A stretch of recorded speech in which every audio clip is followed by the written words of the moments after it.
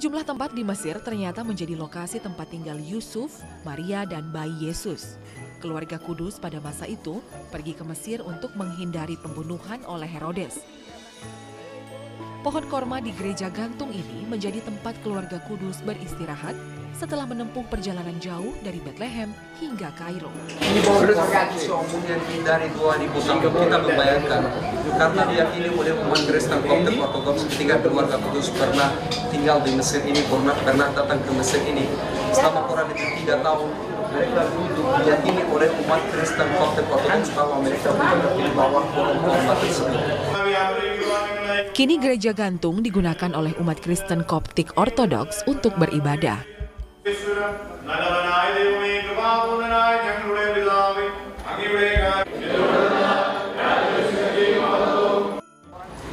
Keluarga Kudus berada di Mesir selama tiga tahun enam bulan. Salah satu lokasi tempat tinggal keluarga Kudus kini menjadi gereja Abu Serga yang terletak di kota tua Kairo. Di kawasan kota tua Kairo ini, peziarah juga dapat melihat bekas peninggalan umat Yunani Ortodoks.